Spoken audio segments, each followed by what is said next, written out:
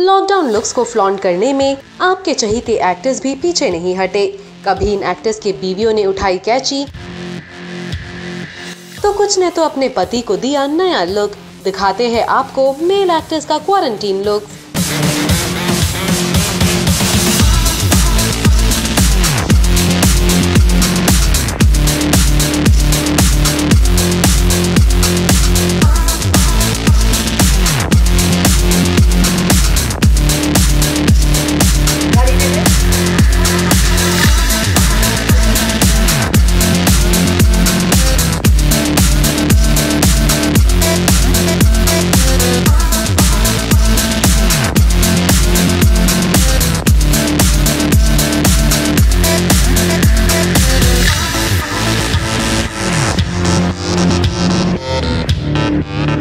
We'll